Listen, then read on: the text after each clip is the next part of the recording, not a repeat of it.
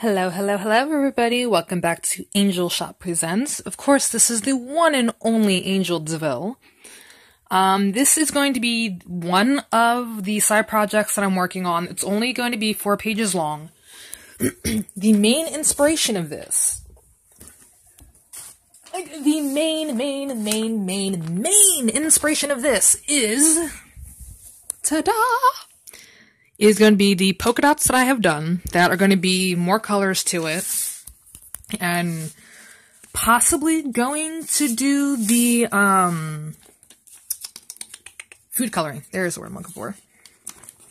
So it's going to be a combination between the polka dots and this little guy. Since Lee, I have gotten a few good reactions towards this, a few of um I would I would want to say friends, but I'm not too sure on where I stand in their eyes. But I would still classify them as a few friends. But they love it. They love this little character, which this whole thing originally originally was supposed to be characters like this, and like little emojis and little little silly stuff. but that's what this is pretty much is going to be. It's just a combination of the polka dots, that little guy, and a few other things. And how I'm actually relaxed to do my art is listening to peaceful music and lit candles. It is the best way to um, keep me relaxed, keep me focused, and not veer off on crazy subjects. And yeah, this is actually how I relax. I do actually have a whole box. It's in there actually of tons and tons and tons and tons and tons of candles. So, haha.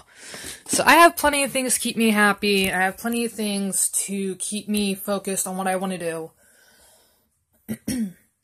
as far as far as our projects go. Jeez. Sorry about that, guys. My throat is actually a little rough for some reason today. I don't know why right off, but um yeah, I'm starting to get a little bit of a sore throat.